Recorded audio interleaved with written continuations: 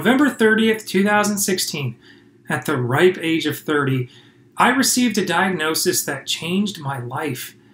I sat across the table from a kind woman with a Wisconsin accent at the University of Utah's Autism Spectrum Disorder Clinic who started with a simple request Tell me about your childhood.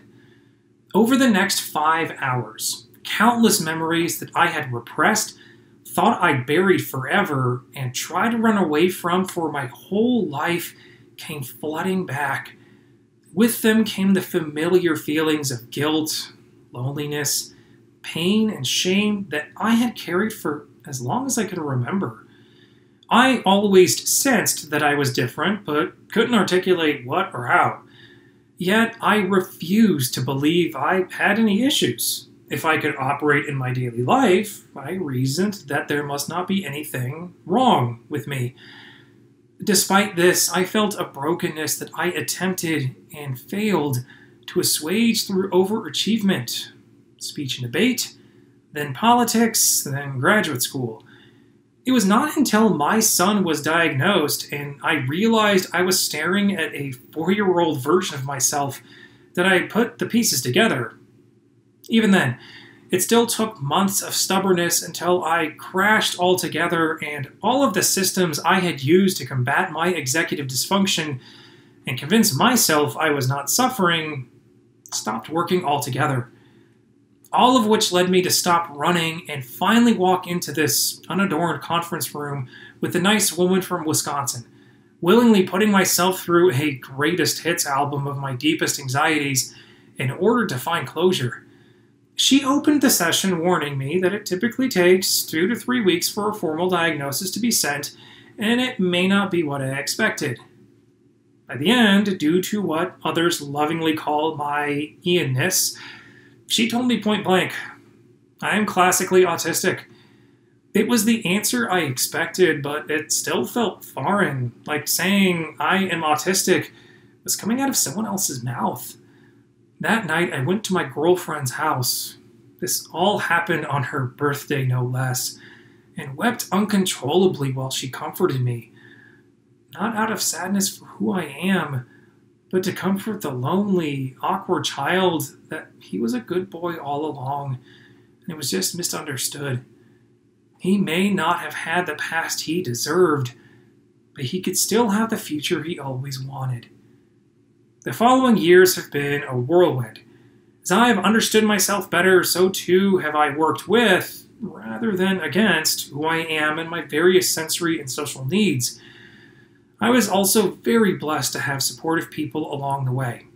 My family, my friends, my graduate advisor, to name a few. Most of all, I am thankful for my girlfriend and our son, who are responsible for formally introducing me to this colorful world of weirdos and whose love inspires, drives, and fulfills me every day. I wouldn't be here, though, were it not for the amazing people in the autistic community including the extended peep of autists on the interwebs, who made me feel welcome as one of their own without compromise, and for whom I continue to learn. I am proud to say I am autistic, although I still have much to learn and grow. Thankfully, I have been taught a lot by other autistic folks, some of which I want to pass along. If you are an, an adult who is finally realizing you are autistic, here are some steps I would recommend as you begin your journey. Number one, be kind to your past self. I know, talking to the world's biggest group of overanalyzers, it's easier said than done. But know that you figured out your autism at the exact right time. We can't change the past or wonder what might have been if we had known earlier. But we can give ourselves a better future with the knowledge we have in the present.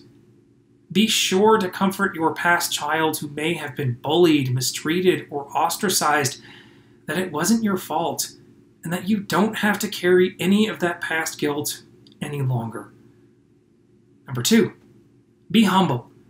You are no more or less authentically autistic than the next person.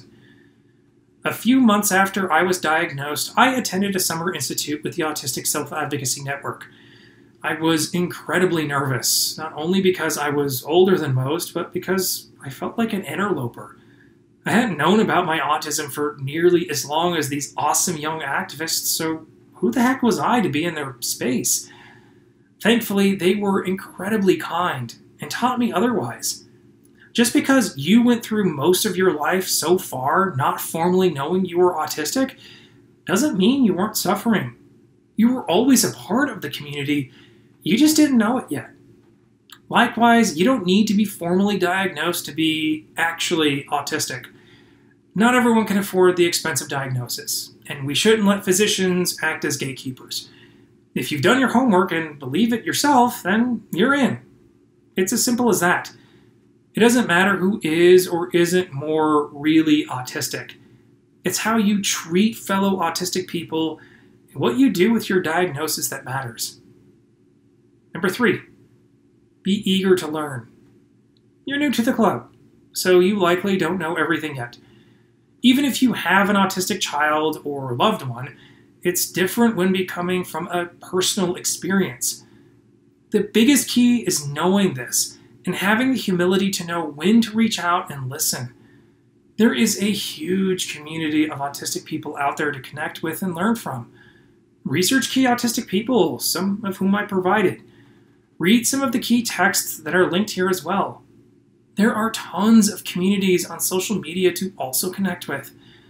And most of all, be sure to center voices of people who are actually autistic, not necessarily medical professionals or caretakers. They know the most about what you're going through. And be sure to read up on all autistic voices, including people who are nonverbal, people of color, and people who are gender nonconforming. And if you don't know, don't hesitate to ask respectfully. Number four, and lastly, be patient with yourself. You're starting an exciting, disorienting, and uncertain journey. You're not only coming to grips with your own sensory needs, but potentially unlearning years of behaviors that were drilled into you because it was normal, not because it was best for you. So, take your time. Listen to your needs and be willing to make adjustments. You are going to learn so much about yourself, and feeling disoriented or confused isn't a bug, but a feature when learning about your actual adult autistic self. I hope this helps you, because I learned these lessons through trial and a whole lot of error. And if you ever have a question, my door is always open. If you were like me, for my entire life, I kept trying to find a missing piece that would finally make me whole. At risk of sounding cliche, I finally realized my and your completeness was there all along.